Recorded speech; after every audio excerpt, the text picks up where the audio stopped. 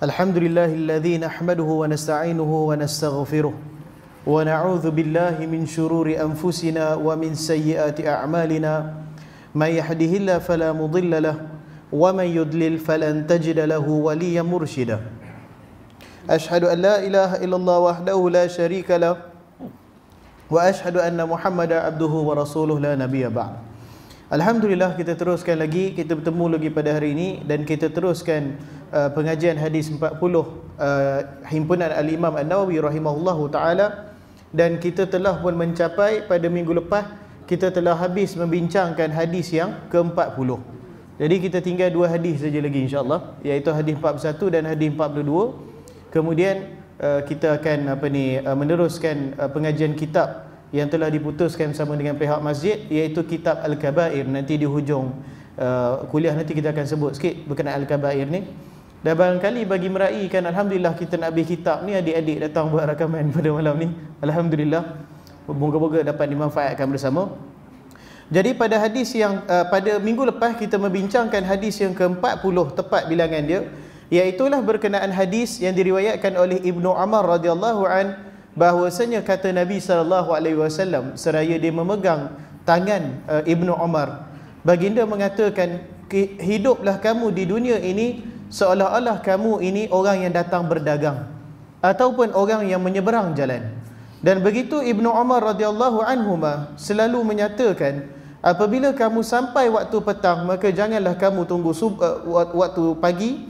Dan apabila kamu telah berpagian jangan pula kamu tunggu waktu petang. Dan ambillah kesempatan daripada kesehatanmu sebelum kamu sakit dan juga daripada hayatmu sebelum kamu kembali kepada Allah Azza wa Jal iaitu hadis ni menekankan berkenaan kita kesederhanaan dalam kehidupan dunia kita dalam kita memperbanyakkan ibadah kita kepada Allah Azza wa Jal. Kita banyak melakukan amal soleh bukan saja banyak bahkan kata Ibnu Umar apabila kita dah tegak hati untuk buat amal soleh tu bersegera buat jangan tangguh.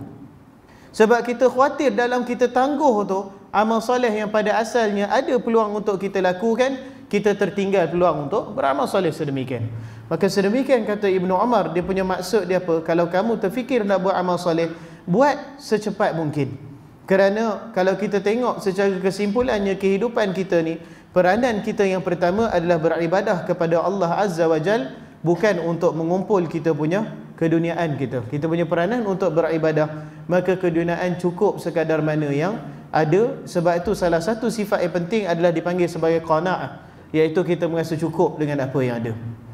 Baik, kemudian insya-Allah malam ni kita masuk ke hadis yang ke-41. Ada sedikit perbincangan dengan hadis ni termasuk dia punya uh, status dia. Iaitu an Abi Muhammad Abdullah bin Amr bin Al-As radhiyallahu anhuma qala Qala Rasulullah sallallahu alaihi wasallam, "La yu'minu ahadukum hatta yakuna hawahu tab'an lima ji'tu bih." Hadis hasan sahih rawainahu fi Kitabil Hujjah bi isnadis sahih. Ini kata-kata Al-Imam An-Nawawi rahimahullahu taala iaitu pengumpul hadis ni. Dia kata daripada Abu Muhammad, siapa dia ni? Dia ni Abdullah bin Amr bin Al-As radhiyallahu anhuma. Dia ni merupakan seorang sahabat yang utama dan dia ni masuk Islam terlebih dahulu daripada ayah dia iaitu Amr bin Al-As radhiyallahu an. Dan beza dia dengan ayah dia, dia punya umur dia, beza dia dengan ayah dia cuma selang masa 12 tahun. Apa maksud dia? Maksudnya ayah dia ni umur 11 tahun, Amr bin Al-As dah berkahwin, umur 12 tahun dapat Abdullah bin Amr bin Al-As radhiyallahu an. Sebab tu kalau apa ni kalau kita kata barangkali ada yang kata tak bersetuju dengan riwayat Aisyah berkahwin pada usia yang muda kita punya sokongan kepada dakwaan tersebut kita tengok keadaan waktu masyarakat zaman tu jangan tengok pada Aisyah tu tengok pada orang lain orang lain pun memang kahwin umur mutuh masa tu saya kira uh, uh, anak Nabi anak perempuan Nabi SAW yang sulung pun dikahwinkan sekitar umur dia 9-10 tahun macam tu juga dan kalau kita tengok barisan isteri Nabi SAW yang baginda kahwini kita tahu baginda mengahwini anak dara seorang saja. Yang lain semuanya apa ni janda lah. Dan mereka yang telah berkahwin ni kemudiannya dikahwinkan dengan Nabi SAW umur mereka sekitar 17, 18, paling tua pun lebih kurang 22, 24 macam tu saja. Apa yang kita faham daripada situ? masyarakat ketika tu bila umur macam tu dia dah boleh status dia status janda dah pun maknanya bukannya 24 dia baru nak kahwin macam sekarang bukan itu menunjukkan bahawa mereka ni memang berkahwin awal. Memang mereka berkahwin sekitar umur 9-10 tahun tu itu biasa usia yang mereka telah mencapai usia kematangan. Jadi kita tengok termasuk juga dengan Amr bin Al-As radhiyallahu an, beliau beza dengan anak dia Abdullah bin Amr cuma sekitar 12 tahun saja. Tak jauh beza dia. Dan Abdullah bin Amr ni dia merupakan orang masuk Islam sebelum ayah dia dan kelebihannya dia adalah antara orang yang paling banyak meriwayatkan hadis Nabi sallallahu alaihi wasallam. Sebab kita kata sahabat radhiyallahu anhum kesemua mereka ni adil. Kesemua mereka memang takkan berbohong dengan Nabi wasallam. Tetapi dari segi dia punya martabat dia tak sama. Ada sahabat yang barangkali dia punya kemahiran dia dalam bidang fiqh umpamanya. Sebagai contoh Umar Al-Khattab radhiyallahu an dia lebih kepada kefahaman nas syariah tu. Itu kelebihan Umar. Kelebihan Abdullah bin Amr bin Al-Aus adalah dia pengumpul hadis-hadis Nabi sallallahu alaihi wasallam.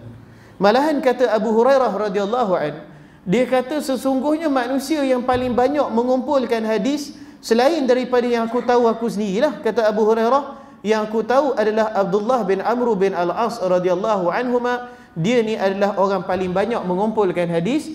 Cuma beza dia dengan aku kata Abu Hurairah dia tulis hadis. Adapun Abu Hurairah adapun aku dia kata aku tak tulis hadis.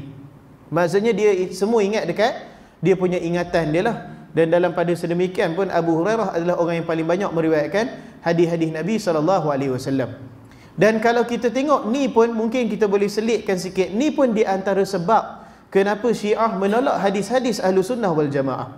Sebab di antara pengumpul utamanya adalah Abdullah bin Amr bin Al-Aus dia ni anak kepada sahabat yang kita sebut tadi, Amr bin Al-As radhiyallahu an. Dan Amr bin Al-As lah pembantu kanan Muawiyah bin Abi Sufyan radhiyallahu anhuma sewaktu zaman pemerintahan Ali bin Abi Talib yang menentang Ali adalah Muawiyah dan dia punya penolong dia adalah Amr bin Al-As radhiyallahu anhu. Sebab tu tak ada orang Iran nama Muawiyah. memang takkan jumpa lah. Ataupun orang Iran nama Amr Al-As memang takkan jumpa. Maka ni pun di antara sebab mereka menolak hadis-hadis baginda yang dikumpulkan oleh Ahlussunnah wal Jamaah. Itu sebab sedikit berkenaan latar belakang Abdullah bin Amr bin Al-As. Baik, kemudian kata Nabi wasallam, "La yu'minu ahadukum" Sesungguhnya tidak beriman seorang daripada kamu. Yang ni kita pernah sentuh uh, gaya bahasa baginda wasallam. Bila disebut tidak beriman seorang daripada kamu ni bukan maksud baginda kalau kamu tak buat perkara yang disebut dalam hadis ni kamu dikira orang kafir dia bukan macam tu yang ni dia kata ya'nil iman al-kamil. Ataupun maksud dia bila Nabi SAW sebut la yu'minu ahadukum dia punya pengertian yang sebenar dia nak, sebut tidak sempurna ataupun tidak benar-benar beriman seorang daripada kamu. Ataupun tidak sempurna keimanan kamu. Keimanan tu ada tapi tak sempurna. Macam kita pernah sentuh hadis-hadis yang sebelum ni bahwasanya baginda sallallahu alaihi wasallam bersabda la yu'minu ahadukum hatta yuhibbu li akhihi ma yuhibbu li nafsihi tidak benar-benar beriman seorang daripada kamu sehingga dia menyukai bagi saudara dia mendapat kebaikan sebagaimana kalau kebaikan tu pun dia sendiri dapat perkara baik tu dia gembira bila dia tengok saudara dia dapat dia pun gembira dia punya saudara dia dapat kebaikan tersebut maka dekat situ pun uslub yang sama Nabi guna iaitu tidak benar-benar beriman seorang daripada kamu ataupun tak sempurna keimanan kamu. Keimanan ada tapi tak sempurna, tak cantik. Kemudian dia kata hatta yakunu hawahu ha, sehinggalah apa ni uh, dia punya hawa nafsu dia taba'an lima jitu bih iaitu nafsu dia mengikuti apa yang telah aku diturunkan dengannya iaitu yang dimaksudkan al-Quran dan sunnah Nabi sallallahu alaihi wasallam. Dalam hadis ni Hadis ni membicarakan berkenaan hawa nafsu dan akal di antara pilihan hawa nafsu dan akal dan juga panduan Al-Quran dan sunnah Nabi sallallahu alaihi wasallam. Ini tema utama hadis ni. Antara akal-akal ni pada hakikat hawa nafsu lah kita kata sebab orang kata apa kalau orang yang terlalu banyak guna akal dia pun kita kata apa dia ni ikut hawa nafsu juga sebab akal ni bukan sentiasa betul. Jadi perbandingan antara akal dan hawa nafsu dengan apa yang diturunkan kepada Nabi sallallahu alaihi wasallam yang tu kita akan tengok apa yang dimaksudkan oleh baginda ni sehinggalah dia punya akal dan nafsu dia ikut Al-Quran dan Sunnah Nabi sallallahu alaihi wasallam. Ada pun sedikit perbincangan mengenai status hadis ni. Kata Ali Imam Nawawi dia kata hadis hasan sahih yang rawainahu hadis ini hasan sahih yang ni pun kita dah sentuh tapi sekadar mengingati semula bila ulama sebut hasan sahih hasan ni sebenarnya satu darjat sahih tu satu darjat dia darjat yang berlainan maka bila disebut hasan sahih tu apa maksud dia dia ada dua maksud yang pertama barangkali hadis tu kalau sanad dia satu saja sebahagian ulama pandang hasan sebahagian ulama pandang pandang sahih dalam ilmu hadis ada perkara-perkara perbincangan yang terpencil sebegini. Sebahagian nampak sahih, sebahagian mata dia nampak nampak daif. Ada beberapa perbincangan. Sebagai contohnya hadis berkenaan fadilat meninggal dunia pada malam Jumaat. Ada hadis tu. Barang siapa yang meninggal dunia pada kami malam Jumaat, Allah Subhanahu Wa Taala menyelamatkan dia daripada azab kubur. Yang ni mata-mata ulama hadis kebanyakannya nampak daif. Bukan sahaja sebab sanad dia diragui, bahkan dari segi amal tu pun dia bukan amal yang kita boleh bergantung pada diri sendiri. Dia lebih kurang macam jackpot. Tahu jackpot? Jackpot ni masa kita main tikam terkena untung. Dia macam tu. Kita tak boleh tahu kita mati bila. Maka sebahagian ulama pandang hadis ni dhaif disebabkan sanad dia pun teruk sanad dia. Dan begitu juga dengan maksud hadis tu pun nampak gaya tak selari dengan syariat Islam. Sebab syariat Islam ni lebih kepada wa alaysa wa alaysa lil insan illa ma dan tidaklah seorang manusia itu dapat melainkan apa yang dia usahakan. Dia punya kata kerja kata kunci di dekat situ apa yang dia usahakan. Mati malam Jumaat kita tak boleh nak usahakan. Kita tak boleh nak pilih tapi sebahagian ulama seperti Allahyarham Al-Albani dia nampak hadis ni dia kata hasan sebab barangkali pada dia beberapa sanad yang daif ada lebih kurang 7 8 sanad hadis ni, mata dia nampak boleh kuat sama sendiri, maka istihad dia dia mengatakan hadis ni hasan. Ada bab-bab macam ni. Begitu juga umpamanya doa mengangkat tangan, yang ni memang mutawatir maknawi lah, tak ada masalah lah. Bila kita doa, kita angkat tangan, yang tu mutawatir maknawi. Tetapi terdapat perselisihan di antara selepas baca doa tu, nak sapu muka ataupun turun tangan terus. Yang tu berselisih. Sebahagian memandang hatta daripada uh, ilmuan yang kita ada zaman sekarang seperti uh, salah seorang JK Fatwa kita Dr. Zahrudin gitu, dia pandang bahawa hadis tu ya, ya betul daif dia kata. Tetapi dia nampak sanad dia banyak, dia rasa hadis ni boleh memperkuatkan satu sama lain, maka dia pandang hadis ni hasan. Jadi pada dia elok lepas doa kita sapu muka. Itu pandangan dia. Saya sendiri lebih pandangan wallahu alam saya ni ilmu tak selera dengan dia. Tapi setakat yang saya ada saya nampak macam sanad itu macam teruk benar nak naik ke hasan tu macam ish tak berapa sedap hati ya macam tu lah. Jadi saya pandang dhaif lah. Tapi ini bab-bab yang sebahagian ulama nampak dhaif, sebahagian ulama nampak dia nampak hasan. Boleh diterima. Ada nak kata banyak tak lah, tak banyak sangat mana sangat pun. Rasanya dalam 3 400 hukum ada lah kot dalam 3 4 macam tu je lah. Taklah banyak sangat tapi ada perkara ni. Jadi dalam bab hasan sahih ni pun perkara yang lebih kurang sama. Sebahagian ulama nampak hasan sebahagian ulama nampak dia nampak sahih. Jadi sebab tu ada sebahagian seperti Tirmizi dan kemudiannya Imam Nawawi dia sebut hasan sahih. Maksudnya barangkali setengah ulama nampak hasan setengah ulama nampak sahih. Itu satu dia punya maksud dia. Maksud dia yang kedua adalah hadis ni ada lebih daripada satu jalan periwayatan ataupun jalan sanad dia. Maka daripada dua jalan ni umpamanya satu sahih, satu hasan. Itu dia kata hasan sahih, digabung terus dua-dua. Ada itu itu orang kata apa? Sebahagian perbincangan dalam ilmu hadis lah. Tetapi hadis ni menurut ulama lainnya eh, terutamanya Ibnu Rajab Al-Hanbali dan sebagaimana kata Usaimin rahimahullahu uh, rahimahullahu taala di sini dia kata kalau dalam bab hadis ni dia kata dua-dua hebat An-Nawawi pun hebat Ibnu Rajab pun hebat dia kata. Tetapi kalau dalam bab menjaga hadis ni nampak gaya kita bagi pada Ibnu Rajab Al-Hanbali lah dia kata. Maksudnya dari segi hebat kemahiran uh, menilai hadis tu Ibnu Rajab lebih lebih lebih kemah lebih cantik dia punya penilaian dia berbanding Al-Imam Nawawi rahimahullahu taala maka hadis ni kita kata hadis ni status dia daif. Jadi dekat situ timbul persoalan. Malahan saya kira dalam dunia fitnah kita sekarang pun banyak perkara yang diperbincangkan boleh ke tak beramal dengan hadis daif. Yang ni pun saya tak mau pergi mendalam, saya pergi secara ringkas sajalah. Harap-harap ada manfaat dia. Tuan-tuan tak perlu ingat pun tak apa, sekadar pendahan saja. Pandangan yang pertama, dia kata hadis dhaif ni sama sekali tak boleh guna. Dalam hukum tak boleh guna, dalam akhlak tak boleh guna, dalam fadail amal, fadilah amalan pun tak boleh guna. Yang ni memang tegas sungguhlah. Seperti contoh Al-Imam Malik rahimahullahu taala dipandang macam ni. Hadis dhaif memang dia tak pakai terus. Itu memang pandangan yang tegas. Ada pun pandangan yang terlalu ringan, yang ni sebut hadis dhaif guna pakai. Nak pakai adalah apa pun hukum pun boleh akidah pun boleh. Bahkan hadis dhaif tu pun dia tak tengok pembahagian dia nampak perkataan dhaif je terus dia kata boleh beramal yang ni ringan sangat pula. Yang ni pun saya kira tak boleh kot. Tak tak boleh nak ambil ni. Yang cantiknya adalah pandangan tengah-tengah. Hadis dhaif boleh dipakai bersyarat. Ada syarat dia.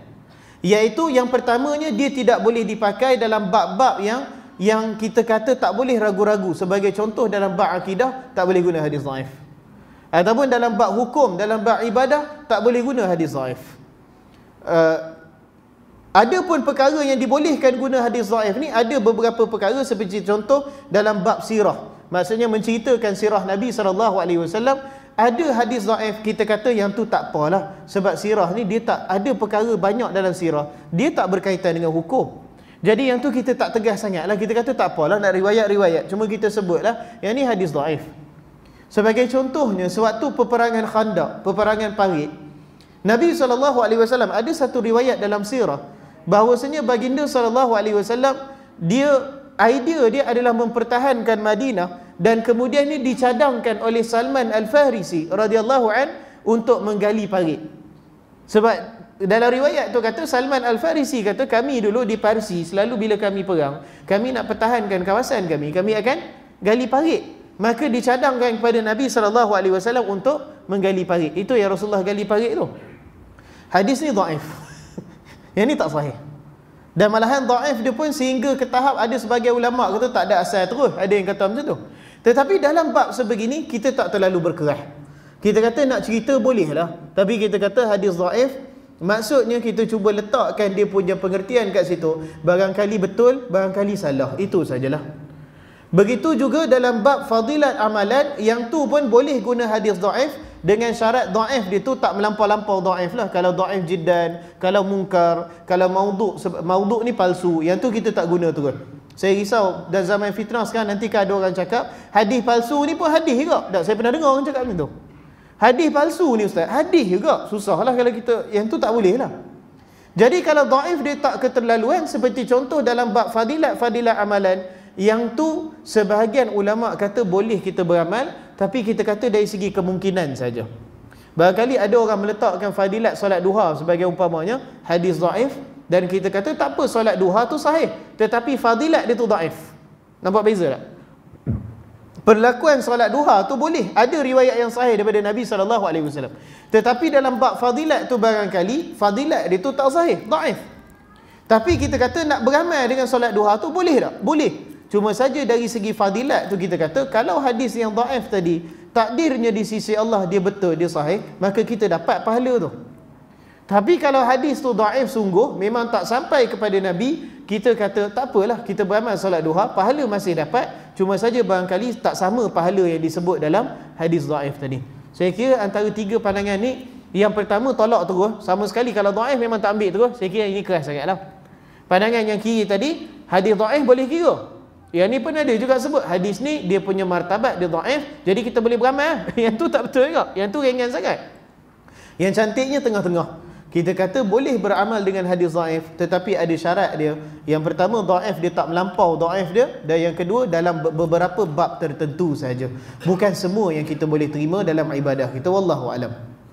Baik ada pun beberapa perkara yang dapat kita pelajari daripada hadis ni. Yang pertamanya ini satu usul yang sangat mendalam. Dia kata tahdzirul insan min ayyahkum al-aql aw al-'adah muqaddiman iyyaha ala ma jaa bihi rasul sallallahu alaihi wasallam iaitu di dalam hadis ini terdapat satu tegahan daripada Nabi sallallahu alaihi wasallam kepada manusia untuk menghukumkan untuk menggunakan akal dia ataupun adat masyarakat dia sebagai satu hukum berbanding apa yang dibawakan oleh Nabi sallallahu alaihi wasallam. Ataupun dalam yang ni bahasa dia mungkin bahasa mudahnya dia nak letakkan hukum halal haram tu dia guna akal dia. Yang tu tak boleh. Sebab akal ni perkataan yang sangat cantik daripada Dr. Muhammad Naim Yasin. Disebut akal ni, kalau kita masuk sikit dalam bab akal ni, sebahagian daripada mazhab akidah yang lepas, saya tak mau sebut nama sebab saya takut saya sendiri pening. Saya sebut umum saja. Sebahagian daripada mazhab akidah yang kita nampak menyimpang daripada ahlu sunnah wal jamaah, apa yang dia buat adalah mereka memandang akal ni kurniaan Tuhan, maka akal ni perlu didahulukan berbanding wahyu berbanding Al-Quran dan Sunnah akal kena bagi dia ke depan dulu. Ada yang pandang macam tu? Sebab alasan mereka kenapa Allah beri kita akal kalau kita tak boleh guna akal untuk tentukan mana Quran Sunnah yang betul dan yang salah? Subhanallah ni memang dahsyat ni. Malahan dalam kata-kata tu ada sedikit kita kata al-kibr ada sedikit bunyi sombong sekali kat situ. Maka sedemikian sebahagian mazhab yang yang uh, pemikiran yang menyimpang yang jauh menyimpang mereka akan cuba nilai perkara yang datang dalam Al-Quran, perkara yang datang dalam hadis dengan akal mereka. Kalau mereka rasa tak masuk akal, maka mereka akan tolak. Mereka kata ini bukan sebahagian daripada Islam. Ada pemikiran macam ni. Yang paling teruknya kita gelar sebagai Jahmiyah. Itu salah satu saja saya sebut. Mereka ni memang guna akal. Mereka kata kalau sehingga ke tahap dia punya taksub dia. Mereka mengatakan bahawa Allah ni kita tak boleh kata Allah ada. Sebab ada ni makhluk. Makhluk ada. Ustaz Azri ada. Kata komputer ada. Kalau kita kata Allah ada, macam sama je kita cakap komputer ni ada, makhluk ada. Maka dia kata Allah itu tiada tetapi dia bukan tidak ada. Ni ni tak payah faham tu apa, saya pun dah mula pening sebut. Tapi ala kuliah nak menceritakan ni bila dia mendahulukan akal lebih daripada Al-Quran dan Sunnah Nabi sallallahu alaihi wasallam. Maka pandangan yang kata Allah beri kita akal, jadi kita boleh nilai Quran Sunnah ni ikut akal kita, tak apa tepat. Kalau macam tu kita tanya Ustaz, kenapa Allah bagi kita akal? Agak hairan juga, Allah beri kita akal, kemudian Allah utuskan Allah dan Rasulnya, dan Allah tuntut ketaatan kepada Allah dan Rasulnya, tetapi dalam masa yang sama, Allah beri akal supaya kita berfikir. Yang mana satu ni? Kan nampak macam bercanggah dekat situ. Allah bagi akal untuk kita fikir, tapi bila pada Rasul, Allah kata, ada perkara yang kamu tak dapat faham. Tak usah nak fikir sangat, ikut saja. Sami'na wa ta'na. Dekat ni macam mana kita nak selesaikan perkara ni? Itu perkataan yang sangat cantik daripada Dr. Muhammad Naim Yassin dalam buku dia Al-Iman tu, buku yang uh, diwajibkan untuk semua guru takmir tu. Dia sebut dalam buku dia, Allah Subhanahu Wa Taala berikan Al-Quran dan sunnah Nabi sallallahu alaihi wasallam yang tu untuk kita ikuti tanpa soal. Malahan banyak perkara dalam Al-Quran yang kita tak dapat faham dengan akal kita. Perkara tu terlalu besar, terlalu tinggi untuk kita. Kalau saya kata umpamanya, saya ni tuan-tuan, umpamanya saya kata, dekat rumah saya, saya ada buku rekod yang merekodkan kehidupan semua tuan-tuan yang tuan-tuan dan puan yang dalam masjid ni. Tuan-tuan boleh terima akal tak? Kata oh, hebat tu. Tak, saya kata saya tahu semua. Tuan-tuan lahir kat mana, pukul berapa, masa lahir itu badan kiri kanan, macam mana tinggi, macam mana berat. Kemudian setiap langkah dalam hidup tuan-tuan dan puan-puan dalam masjid ni, semua saya simpan rekod dekat rumah saya. Si tuan-tuan kata tak masuk akal. Perkara ni berat. Mana ada orang boleh buat macam tu? Tapi kita kata Allah Azza wa Jal rekod semua makhluk daripada manusia, daripada jin, daripada binatang, daripada bumi, langit dan semuanya, semuanya Allah simpan rekod daripada waktu diciptakan sehingga ke hari kiamat. Kita percaya tak? Kita percaya. Walaupun perkara tu dari segi kalau kita nak, nak, nak tengok dari segi data dia, Allah memang mustahil, terlalu banyak tu. Nak tulis berapa banyak kitab. Kita kan cakap macam tu. Tapi perkara ni kita terima, kita kata fatabarakallahu ahsanul khaliqin. Segala puji bagi Allah. Uh, uh, sebaik-baik pencipta ahsanul khaliqin sebaik-baik pencipta. Macam mana dia buat yang tu kita tak faham. Tapi kita berkeyakinan kekuasaan dia dia boleh buat benda yang akal kita tak faham. Itu tujuan al-Quran dan sunnah diturunkan. Iaitu supaya kita tunduk supaya kita terima tanpa kita banyak soal bentuk cara dia. Kita terima ada pun akal, kita kata habis tu ustaz, buat apa Tuhan bagi akal kalau tak boleh guna untuk nak faham tulisan Tuhan? Umpamanya orang tanya. Kita kata mudah. Jawapan yang diberikan oleh Dr. Muhammad, dia kata apa? Dia kata akal ni memang Allah beri pada kita. Tapi tujuan akal ni adalah sebagai alat untuk kita memakmurkan alam ni untuk memenuhi kita punya tanggungjawab sebagai khalifah di muka bumi. Maksudnya dalam bahasa mudahnya macam mana tuan-tuan? Fikir nak buat longkang, fikir nak buat jalan, fikir nak buat bangunan, yang tu guna akal lah. Al-Quran tak beritahu jambatan nak kena guna berapa kilotan. Al-Quran tak beritahu. Yang tu kita guna akal lah. Bahan apa yang nak guna? Nak guna pasir ke? Nak guna konkrit ke? Nak guna besi ke untuk nak buat jambatan? Barangkali ada orang nak buat jambatan ketiga ke Pulau Pinang. Umpamanya. Ada orang kata kalau Quran ni ada semua benda, kenapa dia tak sebut pasal jambatan? Sebab Quran bukan diturunkan untuk keduniaan, diturunkan untuk akhirat sana nun. Sebab tu dia tak, tak cerita bab jambatan dalam tu. Orang kata habis tu dalam bab macam tu macam mana? Guna, guna akal kita lah. Dalam bab perubatan ada penyakit yang tak mampu diubat, akal kita lah peranannya. Guna macam mana kita nak bagi ubat, nak bagi sembuh penyakit ni. Untuk nak buat bangunan, untuk nak buat tanaman, nak buat sistem pengairan, macam mana kalau negara banjir setiap tahun umpamanya kita kata daripada banjir hari ini duk tenggelam rumah orang, baik kita bagi masuk bendang setiap tahun. Umpamanya, macam mana nak buat tu? Itu peranan akal. Maka akal ni peranan dia lebih bersifat urusan keduniaan. Kalau kita bahagi dua macam ni senang. Akal kegunaan dia adalah urusan bersifat keduniaan. Adapun Al-Quran dan Sunnah Nabi SAW yang tu kita kata sami'na wa ata'na. Berhenti sampai situ saja. Apa yang Nabi SAW suruh buat kita buat, apa yang dia larang, kita pun tinggalkanlah. Sebab tu kata Ibnu Abbas radhiyallahu an, dia kata sungguh aku tak pernah tengok kaum yang lebih baik daripada sahabat baginda radhiyallahu anhum.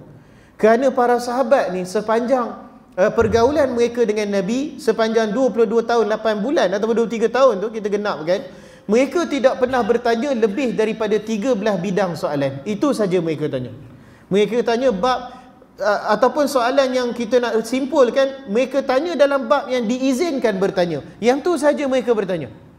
Bila nabi cerita wahai orang orang yang beriman sesungguhnya di akhirat kelak kamu akan dihimpunkan di satu padang. Daripada zaman nabi adam sehingga orang yang terakhir meninggal dunia di kalangan kamu kamu akan dihimpunkan bersama di satu padang. Sahabat tak tanya tuan-tuan padang tu kalau macam tu lebar dia berapa kilometer nak muat semua orang? Dia tak tanya benda tu. Barangkali ada orang dia nak buat critical dan apa? Creative thinking kan? Nak cuba ukur berapa keluasan padang yang muat semua orang. Dia nak kira benda tu tak perlu. Bila Nabi SAW cakap sedemikian dia, mereka pun sami'na wa ata'na. Habis cerita.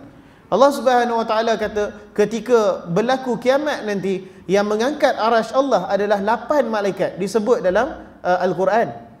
Dan ketika tu sahabat tak tanya malaikat tu rupa dia macam mana? Ada tangan ke tak ada tangan ke? Sahabat tak tanya bila Nabi SAW sebut sedemikian, mereka pun sami'na, sami'na wa ta'na. Begitu juga dalam banyak persoalan agama, kita tengok sikap sahabat kata Ibnu Abbas, mereka memang tak suka bertanya. Mereka akan tanya kalau mereka tak faham saja. Baru mereka tanya. Umpamanya kalau ada perlakuan solat yang mereka dengar, umpamanya, mereka akan tanya pada Nabi SAW, seperti contoh Aisyah radhiyallahu an.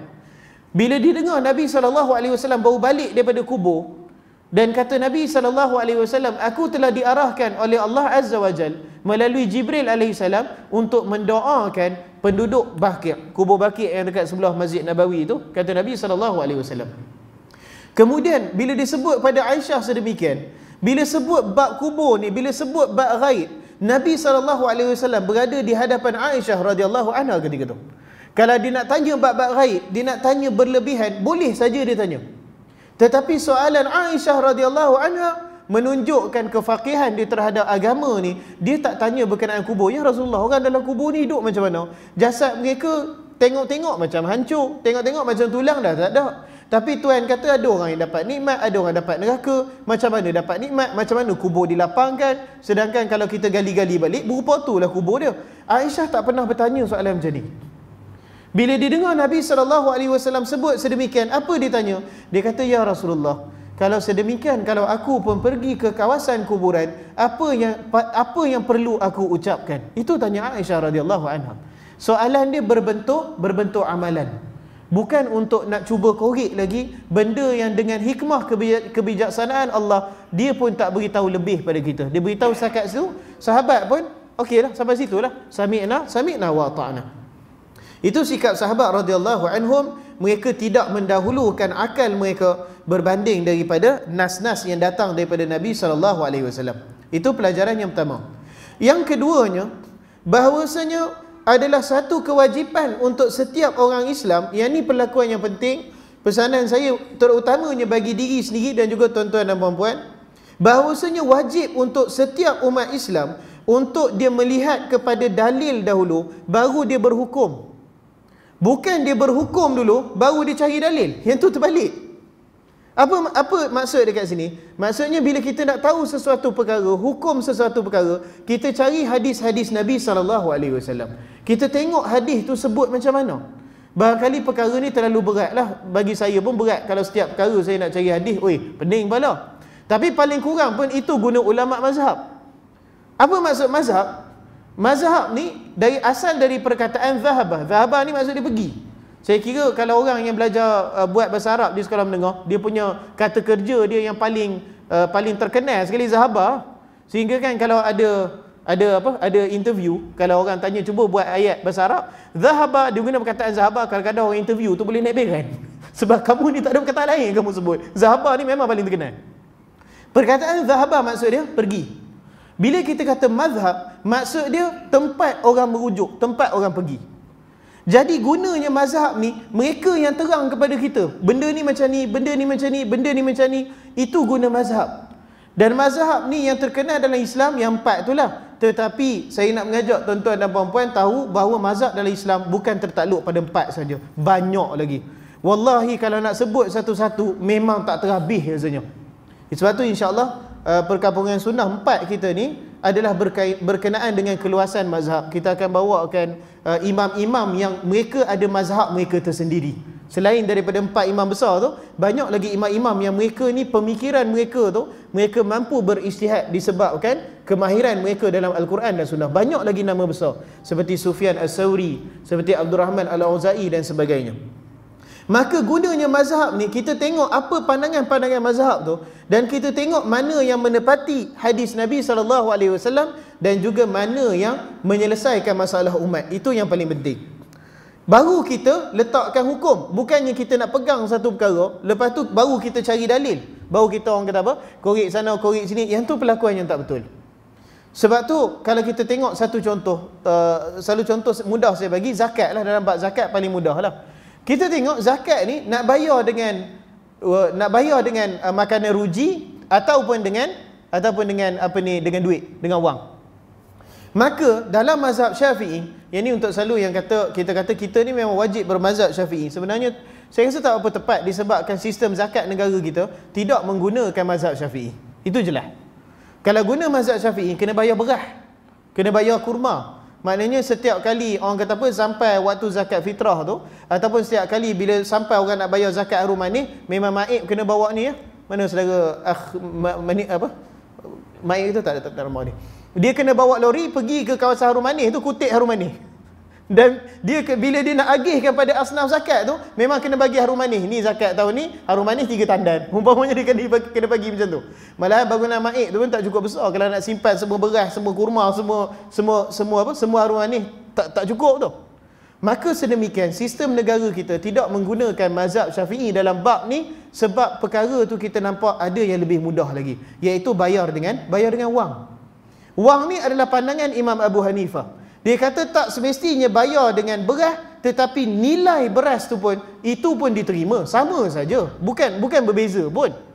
Maka inilah dia kita tengok sebagai contoh ringkas lah. Kita tengok dalil, kita tengok apa pandangan imam-imam ni sebut dan yang mana kita rasa menyelesaikan masalah umat ni, yang tu yang paling cantik kita ambil lah. Dan itu itu saya sebut ni bukan untuk kita masing-masing buat, tetapi itu adalah tugas apa ni ulul amri dalam bab tu lah. Seperti uh, jawatan kuasa fatwa dan sebagainya. Itu tugas mereka. Mereka meluaskan pandangan tengok dalil-dalil yang ada kemudian dia letakkan hukum kepada mana yang boleh membantu yang meringankan beban masyarakat.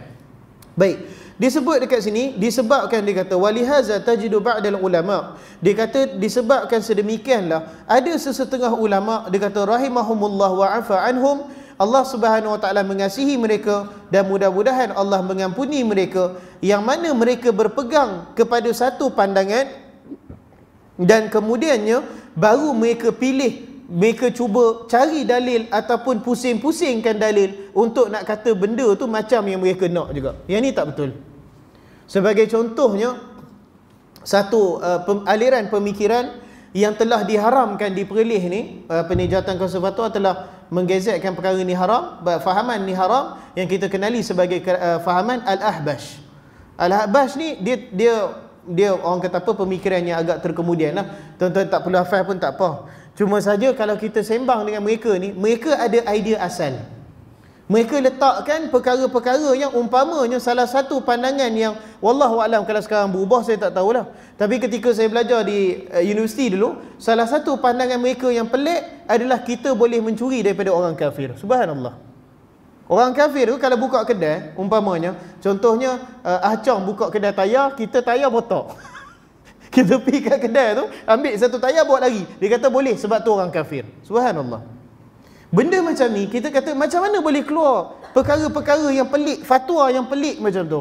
Mereka bukannya tengok dalil, tengok kepada hadis, tengok pada al-Quran, lepas tu keluarkan hukum. Itu bukan sikap dia. Tapi dia buat terbalik. Dia letakkan hukum tu siap-siap. Dia nak kata barangkali lah dia ni benci kat orang kafir. Kata Allah Alam, saya tak tahu. Dia punya pengasas Abdullah Al-Harari tu tak tahu apa dia punya isu dia. Tapi dia letakkan hukum dulu, kemudian dia ambil hadis-hadis. Kalau ada hadis yang Nabi kata tak boleh menzalimi kafir zimmi. Sebagai contoh yang mana Nabi SAW bersabda, barang siapa yang membunuh seorang kafir yang berlindung di bawah negara Islam, nescaya aku akan menjadi hujah di antara dia dengan Allah di akhirat kelak. Tak boleh, kita nak pipi tikam, tak boleh. Sebab dia bayar dia punya hak dia, kita perlu lindungi dia. Sebab dia berlindung bawah kita. Jadi mereka ni barangkali kalau mereka jumpa hadis macam ni, kita kata tapi Syekh, ada hadis Nabi kata tak boleh zalimi orang kafir. Dia akan pusing, dia akan putar belikkan dalil tu. Ha, dia akan kata barangkali orang kafir ni orang kafir yang sudah hampir nak masuk Islam. Bukan saya kata mereka kata macam tu, tapi nak tunjuk mereka akan takwilkan hadis tu, mereka akan takwilkan ayat Quran tu, dia pusing punya pusing nak bagi betul juga macam yang disebut dalam hukum asal yang dia nak tadi. Ini sikap yang salah. Dalam Al-Quran dan Sunnah ni sebagaimana disebut kat sini, kita tengok dulu dalil yang ada. Kita tengok dulu hadis-hadis, kita tengok dulu Al-Quran dan macam mana sekalipun keputusan Al-Quran dan Sunnah sebagaimana disebutkan dalam hadis ni, kita perlu akur kepadanya. Kita kata kenapa uh, hadis ni dhaif tetapi kita kata maksud dia boleh sehingga kita bincang panjang lebar malam ni disebabkan dia punya maksud dia ada di dalam Al-Quran. Dia punya hadis yang dhaif tapi maksud dia ada dalam Quran iaitu Allah Subhanahu wa taala sebut auzubillahi auzubillahi minasyaitonir rajim fala wa rabbika la la yu'minuna hatta yuhakimuka fima syajara bainahum. Tidak benar-benar tidak demi Tuhanmu ya Muhammad mereka tidak benar-benar beriman sehinggalah mereka menjadikan kamu sebagai hakim dalam perkara yang mereka perselisihkan sesama mereka. Sama tak dengan maksud hadis ni tidak benar-benar beriman seorang daripada kamu sehingga hawa nafsu dia mengikuti apa yang telah diutuskan kepadaku. Sama dia punya maksud dia. Ayat Al-Quran tu kata mereka tidak benar-benar beriman sehingga mereka menjadikan kamu hakim dalam perkara yang mereka perselisihkan Kemudian sambung Allah Azza wa Jal Kemudian setelah kamu letakkan keputusan kamu Dalam hati mereka tak rasa berat hati untuk ikut Dan mereka menyerah diri dengan sebenar-benar penyerahan. Yang tu baru tanda keimanan yang sempurna. Kita tengok apa-apa datang daripada Quran dan Sunnah Walaupun perkara tu kita Barangkali sebelum ni kita pegang lain. Tapi bila kita jumpa dalil daripada Al-Quran dan Sunnah Apa yang perlu kita sebut? Sami'na Sami'na wa ata'na. Yang tu kita kena mengalah lah. Sebab mustahil kita boleh mengatasi dalil. Maka di sini, dia kata, akal ini, sekerana akal ini, ataupun hawa nafsu ini, dia adalah perkara yang pada asalnya mazmum. Pada asalnya dia adalah perkara yang tercela. Dan kalau akal ni kita kata akal ni manusia ni cukup hebat sehingga dia boleh merungkai rahsia Al-Quran dan sunnah Nabi sallallahu alaihi wasallam itu yang disebut oleh Al-Imam Musab'ani Dia kata kalau macam tu tak payah Nabi nak main ya, Dia kata. Sebab akal boleh faham semua dah. Kita tak perlu Nabi SAW datang pun Kita boleh kata solat ni sepatutnya lima waktu. Tuhan nak macam ni, macam ni, macam ni. Orang kata macam mana? Tahu? Tak, yang ni saya fikir guna akal saya. Yang tu memang tak akan terjadi. Dan dia disebut di sini bahawasanya akal ini Dia boleh jadi betul Dan dia juga boleh jadi salah itu batasan akal kita. Barangkali perkara yang Allah Azza wa Jal nampak sebagai perkara tu betul, kita nampak sebagai perkara tu salah, perkara tu tak patut. Dan barangkali juga perkara yang akal nampak betul, Allah Subhanahu wa taala kata tak tidak benar perkara sedemikian. Kita tengok dalam uh, sejarah Nabi sallallahu alaihi wasallam banyak terjadi perkara sebeginilah. Kemudian pelajaran yang keempatnya adalah wajib untuk kita menggunakan hukum syariah di dalam setiap perkara sebab Allah Subhanahu wa taala sebut di dalam al-Quran dia kata wa nazzalna 'alaikal kitaba tibyanan likulli syai' Sesungguhnya kami telah turunkan kepada kamu Alkitab iaitu Al-Quran sebagai penerang di dalam segala perkara. Dan di sini cantiknya Islam. Pagi tadi sewaktu bersembang dengan jemaah sempering gitu, kami bincang berkenaan perbezaan agama. Dan insya-Allah apa ni uh, Syekh Zakir Naik kita datang kan? 7 hari bulan dia akan sampai apa dia akan sampai khutbah di masjid negeri. Saya cadangkan ko kita keluar pejabat 12.30 tu kita pi tu lah. Saya akan pi tu lah. Sebab kalau kau satu suku pun nak pi tak ada parking lah. orang akan ramai pergi. Insyaallah 7 hari bulan. Setakat ni berjalan akan berjalan lah. Kami bincang berkenaan perbezaan agama. Bila kami bincang punya bincang saya sebut bahawa Islam ni merupakan satu-satunya syariat di atas muka bumi ni yang dia membincangkan semua perkara semua benda ada ada tak agama yang bincangkan berkenaan masalah politik? Mana ada? Tak ada. Ada tak? Malahan kalau dalam agama Kristian memang dia dah sebut siap-siap dah pun. Dia kata bab-bab politik ni beri pada politik lah. Bab-bab agama ni kita beri pada agama lah. Tak boleh campur dua perkara. Dalam mereka punya Bible mereka tulis macam tu. Ada tak agama yang membincangkan masalah politik, masalah sosial, masalah kenaikan harga barang pun dibincangkan dalam Islam masalah ekonomi, masalah rumah tangga, masalah jenayah, masalah perkhianatan, masalah ibadah, masalah akhlak, kesemua masalah diperbincangkan, satu-satunya agama yang ada sentuh perkara ni adalah Islam saja. Sebab tu kita kata di antara keimanan kita kepada kesumulan Islam ataupun Islam ni sebagai agama yang lengkap ialah kita kena akui dalam kesemua dalam bab syariat Islam ada meletakkan hukum dia. Yang tu kita kena akui. Satu saya tak bersetuju dengan orang yang ada yang saya pernah jumpa dia minum dengan tangan kiri. Dia minum tangan kiri. Dia ambil orang kata apa apa ni cawan itu dia minum tangan kiri ataupun dia sama ada straw ke tak straw dia minum tangan kiri kita tegurlah kata tangan kiri ni tak boleh minum dengan tangan kiri sebab hadis daripada al-Imam al-Bukhari Nabi SAW bersabda inna syaitana ya'kuluna wa yashrabuna bi shimalih sesungguhnya syaitan ni dia makan dan minum dengan tangan kiri dah Lalu saya ingat lagi jawapan daripada saya dia kata itu di antara hadis Nabi yang kita tak wajib ikut. Subhanallah. Dia kata itu contoh hadis Nabi yang bab-bab kedunaan ikut sukalah siapa ikut boleh lah tapi benda tu tak wajib ikut lah. Maka syok dia saya duk tengok dia guguk guguk guguk dia nak tangan kaki. Tak. Kalau kita kata sedemikian secara tak langsung kita kata Islam ni tak syumul betul? Islam ni tak menyeluruh. Macam mana seorang tu dia boleh meyakini Islam ni memperbincangkan ke semua bidang agama. Sebab tu kata sahabat, kata kata ulama salaf, Nabi SAW dia membincangkan perkara yang sebesar-besar perkara seperti tauhid sehinggalah perkara yang paling kecil pun Nabi ajar kita iaitu macam mana kita nak istinja lepas kita buang hajat kita. Yang tu pun subhanallah dalam Islam ajar perkara tu. Ada agama lain ajar istinja dengan tiga batu kalau tak dengan air ataupun afdalnya guna dua-dua masa nak istinja masa kita nak buang hajat jangan pandang ke arah kiblat ada dak agama lain sampai ke tahap berkhulwah berseorang diri nak uh, disebabkan berhajat tu diperbincangkan hadis-hadis dia dengan sebegitu teliti. Subhanallah mana ada? Tak ada. Satu kami berseluruh pagi tadi saya kata antara perkara yang paling uh, saya rasa agak agak lucu lah juga adalah uh, ketika kami buat apa ni uh, perbahasan di antara agama di dalam perbahasan tu ada seorang daripada agama yang bukan Islam agama yang bersifat kesamian.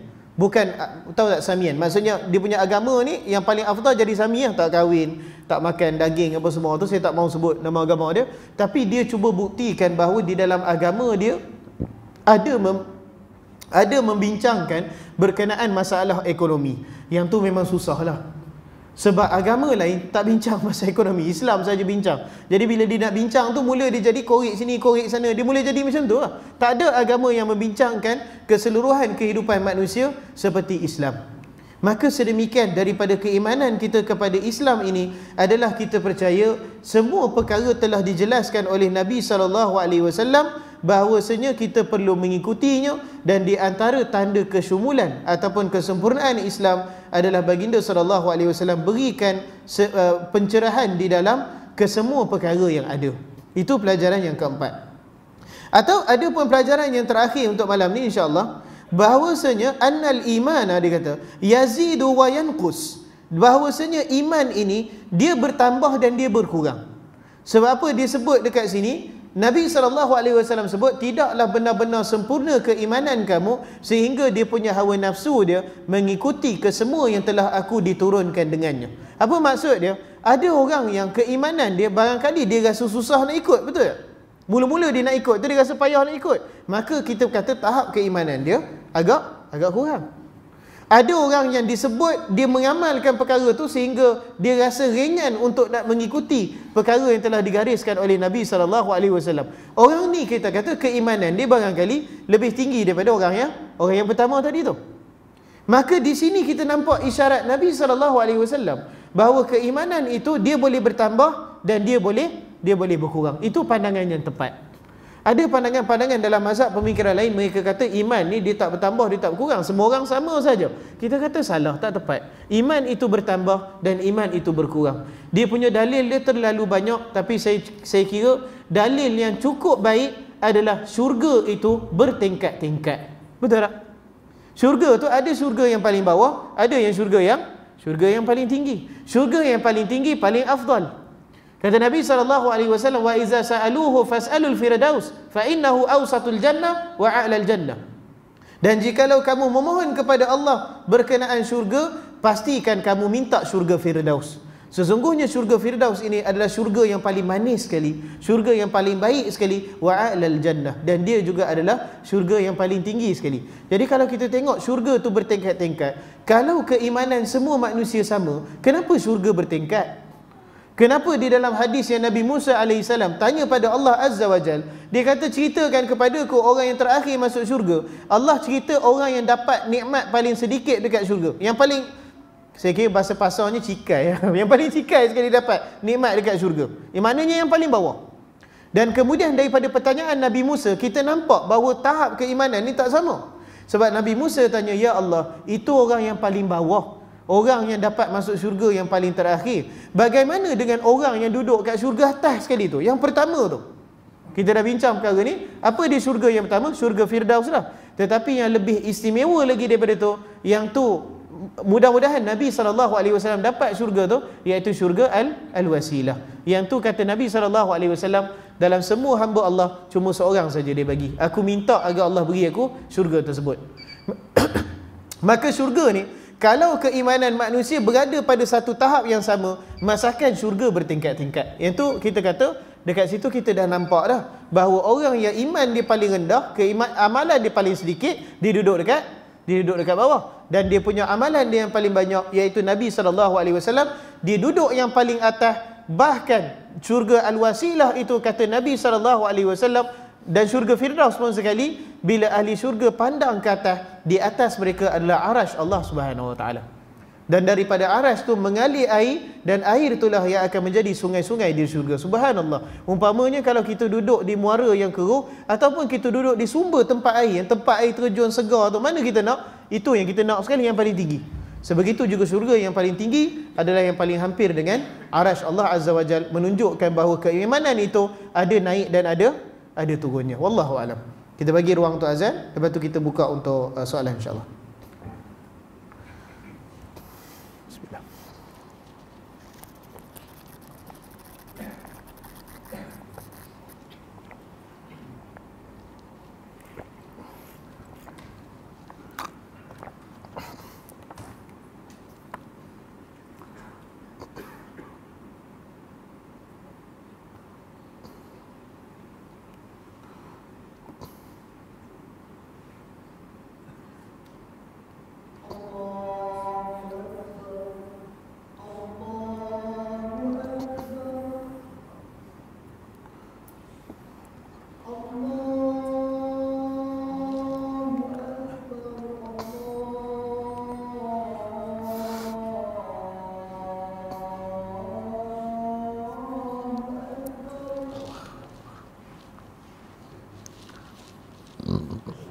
うん。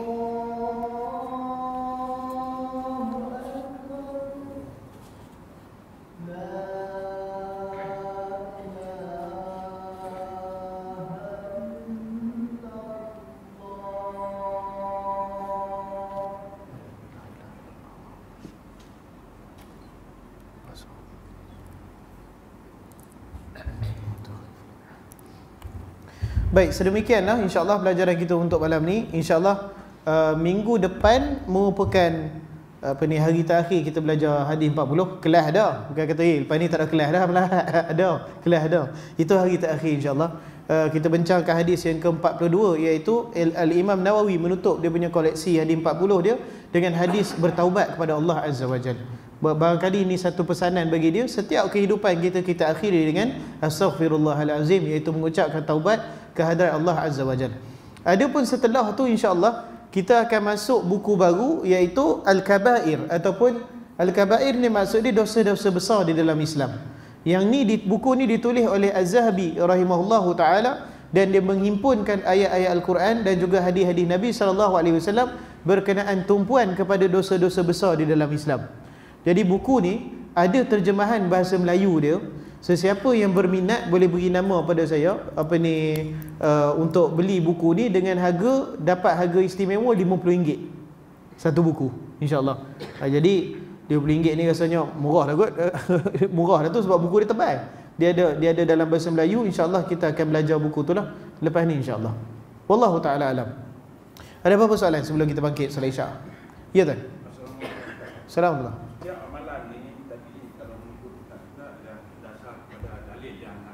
Hmm.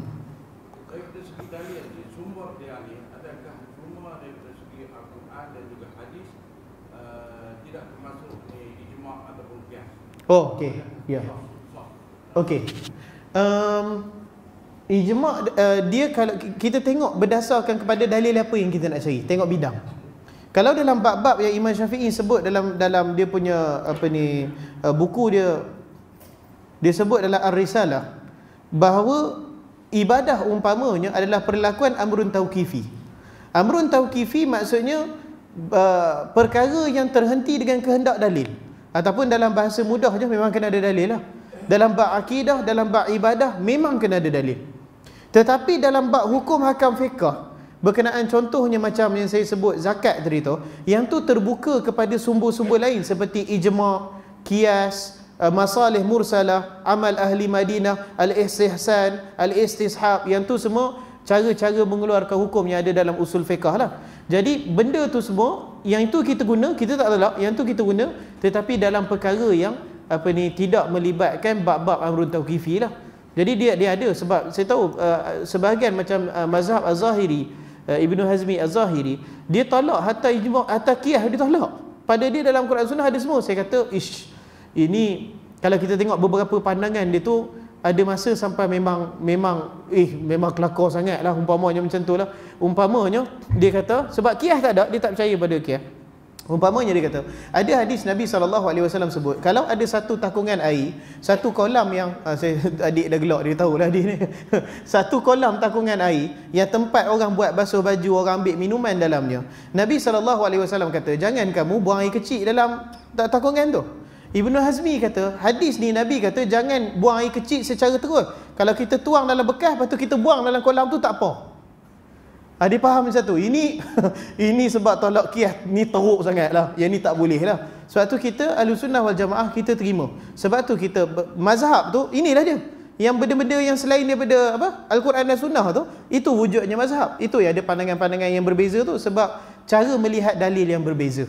Jadi perkara tu kita gunalah bahkan macam saya sebut tadi Alhamdulillah kita dekat perlis ni kita menerima semua mazhab yang muktabar kita tengok mana pandangan yang uh, mana pandangan yang kuat lah dan terutamanya yang menyelesaikan masalah umat sebab tu yang paling penting lah Wallahu a'lam. Ada soalan? Ya. Ya.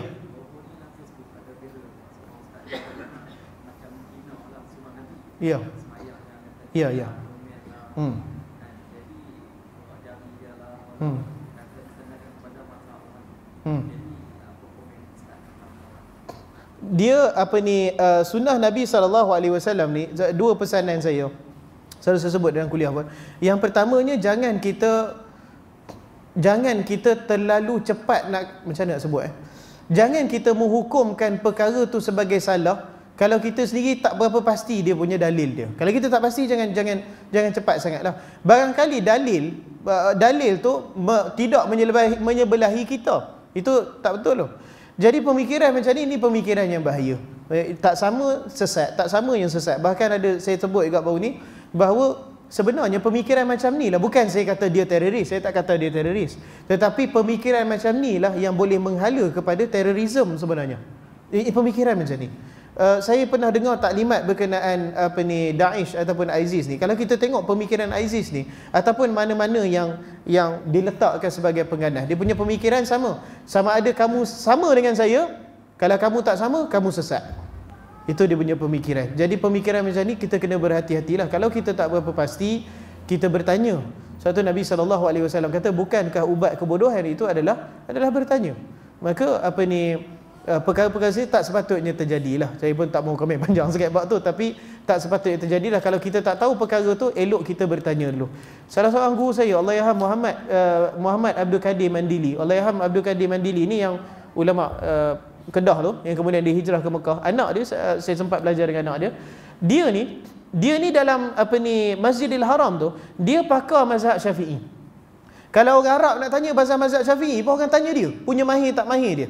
Saya pernah tengok dengan ayah saya sekali ada orang datang bawa dia punya dia punya thesis dia tunjuk tunjuk tunjuk. Dia dia dia lepas dia tengok sekali imbas dia kata kamu cuba tengok balik muka surat mana-mana. Tu perkataan yang kamu guna tu itu bukan perkataan asal Imam Syafi'i dalam kitab dia. Perkataan asal dia sekian sekian sekian. Sampai bukan saja Quran kitab Imam Syafi'i tu pun perkataan tu diingat tu. Sampai ketara tu. Jadi dari segi alim dia. Tapi bila dia datang ke negara kita Alhamdulillah kita perlih ni setakat ni kita buat uh, kita Jumaat kita sekali azan. Nak dua kali azan boleh tapi itu perbincangan lain lah. Cuma yang dua kali azan tu, azan pertama tu sebelum masuk waktu, bukan lepas masuk waktu. Itu dia punya sunnah dia. Jadi dia main dekat Malaysia ni, dia berhenti kat sebuah negeri, dia solat. Bila orang azan yang pertama tu, orang semua bangun. Di azan pertama tu, orang semua bangun untuk menunaikan solat. Masa tu dia ragu-ragu. Dia kata, eh solat apa ni? Dia tak tahu pula ada solat sebelum Qabliyah Jumaat tu tak ada dalam masa Syafi'i. Tak ada. Jadi dia tengok ni solat apa sehingga kan orang sebelah dia tu, dia ingat, saya ingat dia cerita kat saya, orang sebelah dia tu habis solat, dia sentuh peha kawan tu, dia kata tadi tuan bangun tadi lepas orang azan, tuan solat apa? Orang tu kata apa? Saya pun tak tahu. Jadi saya tengok, saya tengok orang buat, saya buat lah. Dia tanya orang lain, orang kata inilah dia solat sunat Qabliyah Jumaat. Bukan Qabliyah Zuhur, Qabliyah Zuhur sahih. Qabliyah Jumaat tu tak ada. Antaranya kita nak kata bukti Qabliyah Jumaat tu tak ada. Zaman Nabi mana azan dua kali? Macam mana boleh ada Qabliyah Jumaat? Tak ada Qabliyah Jumaat. Maka dia ni dia dia punya sifat dia, dia tak terlalu cepat nak kata perkara ni tak boleh. Sebab dia sendiri pun tak pasti. Ini sikap yang kita kena contohi.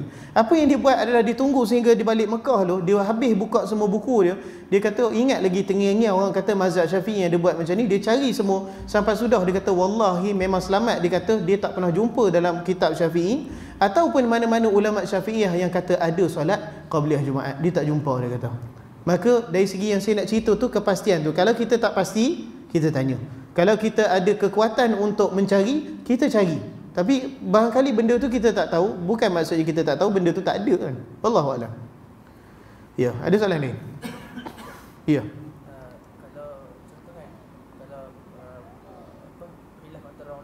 Hmm. Hmm. Pendirian kita ketika tu benda ni dalam bab-bab kecil saya sangat dah. Boleh je lah nak pilih mana-mana pun. Kalau kita rasa mana cenderung pada mana-mana salah satu boleh lah. Dan di sini juga salah satu peranan mazhab lah. Sebab terus-terus saya sebut, kalau nak kata kita ni kata saya tak mau bermazhab, tak boleh, tak boleh. Sebab dalam bab-bab yang utama macam solat, puasa itu, yang tu kita boleh cari sendiri. Tapi bila bab dah kecil-kecil sangat tu, Allah, yang tu kalau kita tengok perbincangan di kalangan ahli mazhab, pening kepala kita. Saya ingat saya nak ngajar istimak Jumaat berkenaan tafsir ayat hudud. Kepala saya berasap dulu tiga hari nak faham. Sebab dia punya pecahan itu banyak. Dia punya khilaf itu, subhanallah, memang banyak sangat-sangat. Contohnya hadis tidak dihukum bunuh seorang ayah kalau dia bunuh anak dia sendiri. Hui, macam mana? Dia bunuh anak dia, lempang dera anak dia mati. Rasulullah kata ayah dia tidak dibunuh. Sedangkan hukum yang masyur kita tahu, ayah dia kena apa? Kena kisah lah dia dera anak dia sampai mati.